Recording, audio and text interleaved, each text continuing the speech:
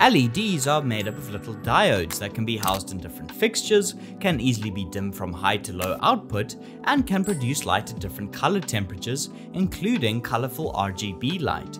They require relatively low amounts of power and run without excessive heat. HMIs send current through a metal halide gas to create extremely powerful sources of light at a fixed color temperature of around 5600 that resembles strong sunlight.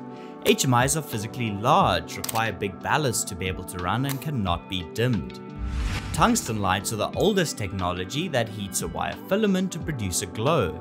They create warm light around a 3200 Kelvin color temp that gets even warmer when dimmed.